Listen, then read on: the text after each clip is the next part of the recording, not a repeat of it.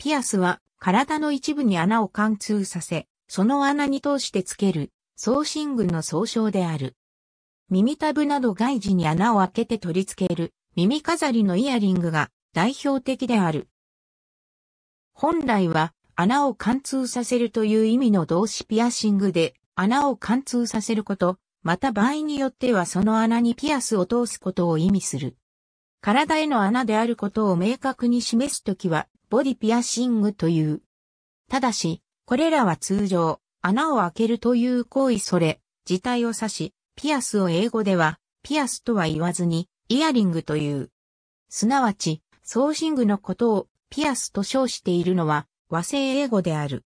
また、日本において耳に穴を開けずに耳に装着する送信具のことをイヤリングと称しているが、それも和製英語である。穴を開けずに耳に装着する送信具を英語ではクリップオンという。有史以来、古くはタトゥーと同様、邪悪なものから身を守る魔除けを目的として用いられていたが、時代を経るに従いファッションの意味合いが強くなっている。古代エジプトにおけるピアス。耳へのピアスは、インド、エジプトなどの古代文明に人類が装飾品で体を飾る際に耳への装飾もいったことに始まる。当時の金工技術は高度で、感情の金属製の耳飾りが一般的であった。この耳飾りは耳に開けた穴に取り付けられ、ピアスの原型となった。日本列島においてはそれより早い縄文時代早期末からピアスが着用されたとされている。主として石製、骨製であり、円の一部を描いた形で、上耳飾りと呼ばれる。縄文時代中期頃より、耳線と呼ばれる粘土製のピアスも作られるようになった。ピアスをつけているとされる土偶も出土している。地部分に穴の開いている土偶も存在するが、これについては耳の穴ともピアスホールとも言われる。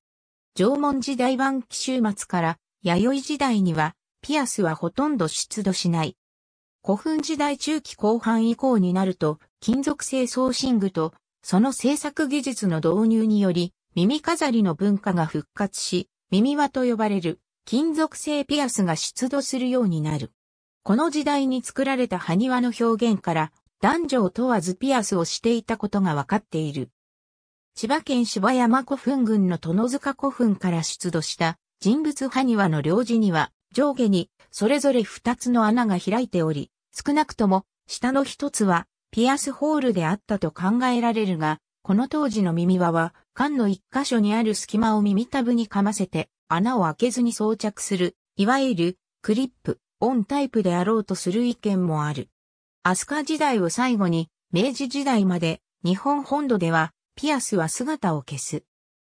大法律量によって身分による衣服の違いが明確になったためにピアスなどの装飾品で身分を示す必要がなくなったからとも、体髪皮膚これを父母に受けく、あえて希少せざるは、公の始めなり、という儒教の公共の影響だとも言われる。アイヌ民族は、江戸時代末期まで、人狩りと呼ばれる、真鍮製のピアスを男女問わずつけていた。連合は2019年11月15日、職場での身だしなみのルールに関し働いている男女1000人が回答したアンケートを発表。ルールがあると回答したのは571人。男性のピアス負荷は188人。ルールに違反した場合、処分があるのは111人。始末書提出や解雇、契約打ち切りもあった。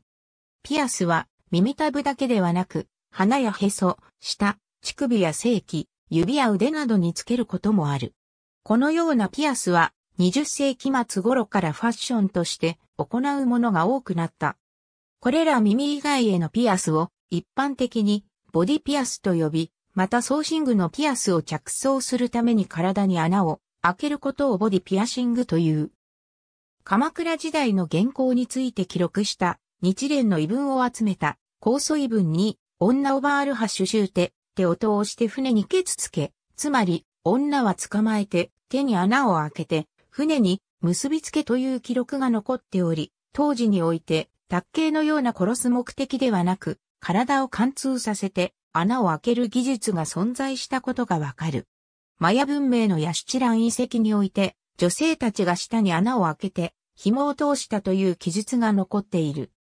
主な耳ピアスの部位と名称1ヘリックス、2インダストリアル、3ルーク、4ダイス、5トレーガス、6スナッグ、7コンクもしくは、コンチ、8アンチトレーガス、9イヤーローブ1、5、8、9は、解剖学上の名称が、そのままピアスの部位の名称として使われている。最も普及しているピアスの部位は、イヤーローブである。様々なボディピアス目周辺のピアス耳周辺のピアスヘリックス耳輪に行うピアシング。インダストリアル耳の軟骨部などで2箇所の穴を1つのバーベルで通すピアシング。ルック、マイナスロックもしくはルークとも表記される。ボディピアサーのエーリク・ダコタが広めた。彼が自分の名前から名付けたため、耳の部位名ではなく、地図のルークとも無関係。ダス・ライスとも表記される。耳の軟骨ピアシング。エーリク・ダコタが広めた。彼が知識という意味のヘブライ語から名付けたため、耳の部位名ではない。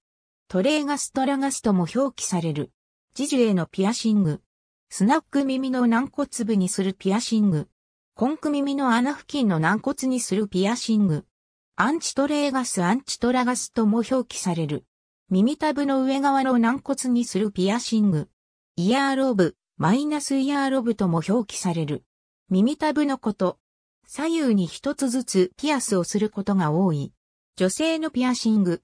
バーティカルトレーガスバーティカル、トラガスとも表記される。時事を縦に貫くピアシング。アウターコンク耳の軟骨部のピアシング。鼻周辺のピアス口周辺のピアスその他の顔のパーツのピアス上半身のピアス日本と海外のピアスホール事情日本においてピアスを通す穴を体に開けるのは医療行為とみなされるために、医師による手術を頼る人がほとんどである。ただしこれは耳のみにピアスホールを開ける人に限る。口述の医師法違反で逮捕されたピアススタジオの客のように、舌などの耳以外の場所にピアスホールを開ける場合は、それを行っている医療機関が少ないため、ピアススタジオなど医療機関以外の場所を選ぶ場合も少なくない。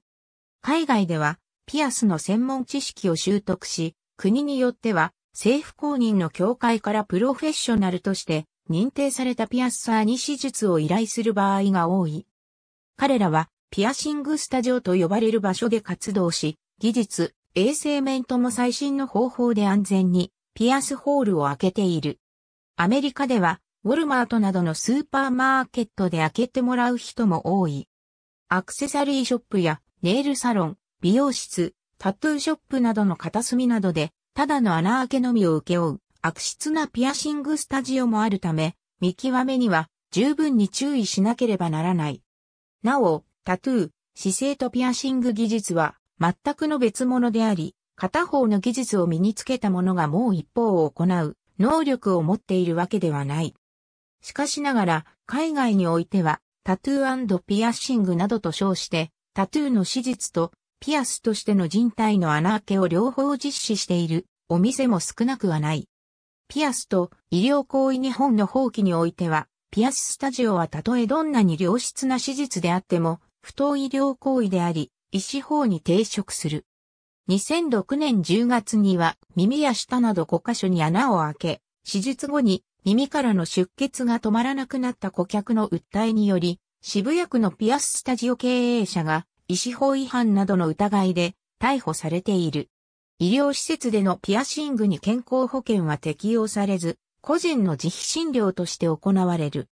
子供とピアス18歳未満の子供がピアスをつけることは法律上禁止されてはいない。しかし高速で禁止としている学校は多く、頭髪、服装検査の一環としてピアスホールをチェックする学校もある。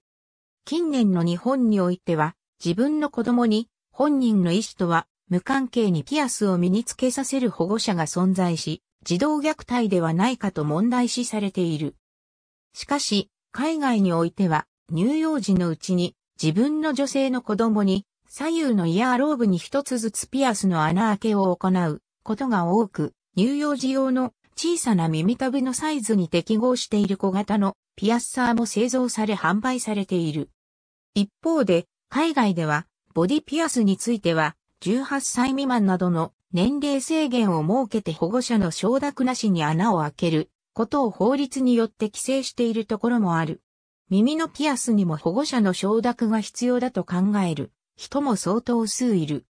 使用中の注意点客に提供する飲食物への異物混入を避けるため、飲食店などでは従業員に勤務中のピアスの着用を禁止しているところも多い。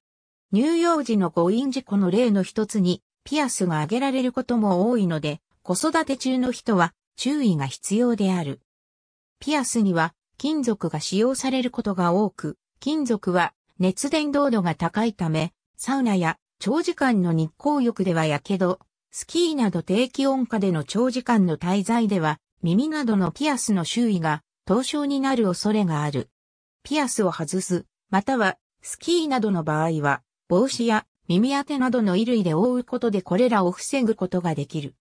インサートニードルピアスガンピアスホールを開ける手段として、ピアスガンもしくはピアッサーを使用する場合が多い。ピアス愛好者たちが好んで使用する道具はニードルである。見た目は注射針そのものであるが、注射針よりも太く作られている。またピアシング専用の特殊ニードルもある。ピアスガンとニードルの決定的な違いは、その鋭さにある。ニードルは医療用ステンレス鋼で作られた刃物であり、よく切れるために余分な皮膚組織を壊さず、スマートにホールを作ることができる。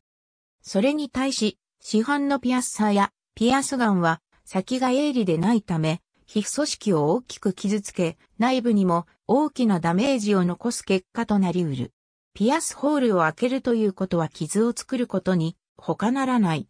ピアッサーが使用しているニードルは通常使用に関しては一本一回限りの使い捨てである。ピアスガンに関しても現金処理されているものがある。これも基本的に一回限りの使い捨てである。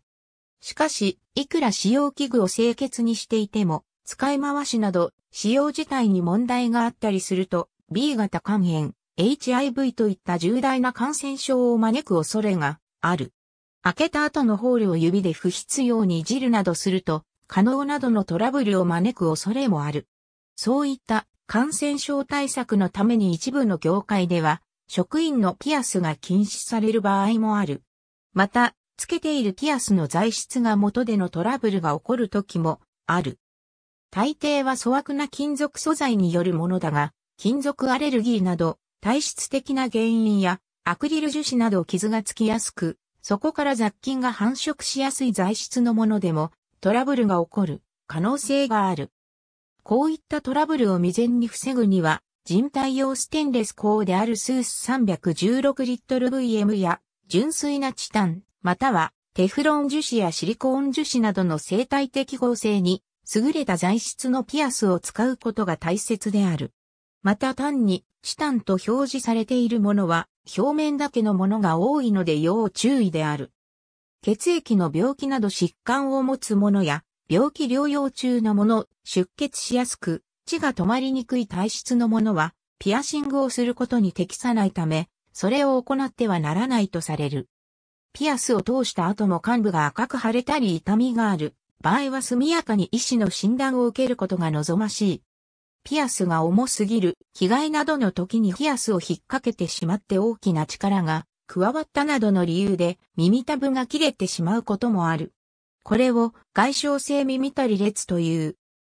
耳のピアスに関する都市伝説、耳に開けたピアスの穴から白い糸が出てきたので、引っ張ったところ、糸は急にちぎれ、その人は目が見えなくなった。その糸は視神経だったのだという怪異談が流行ったことがあるが、医学的根拠はない。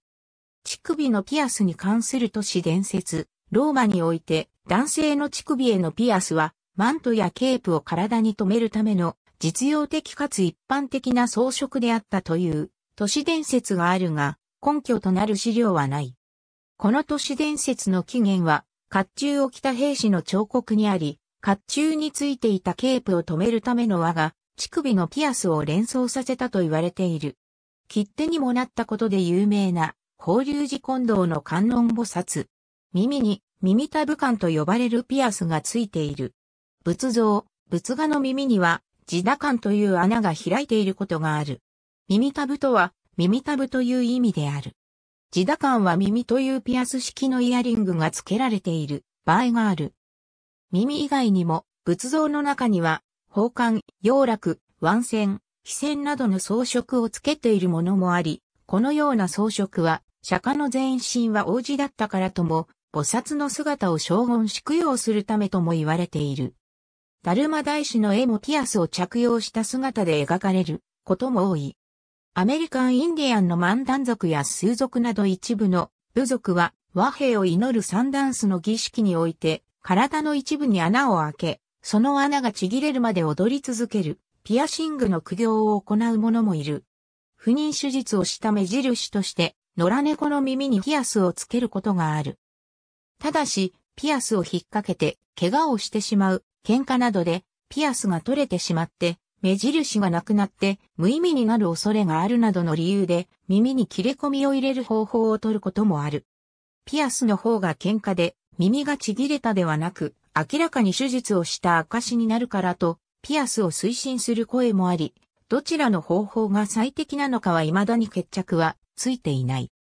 乳牛や肉用牛は鼻輪をつけていることが多いが、これは農作業の際に牛に言うことを聞かせたり、爪切りや病気の治療などの管理の際に、体の大きな牛を扱いやすくするためにつけられている。ありがとうございます。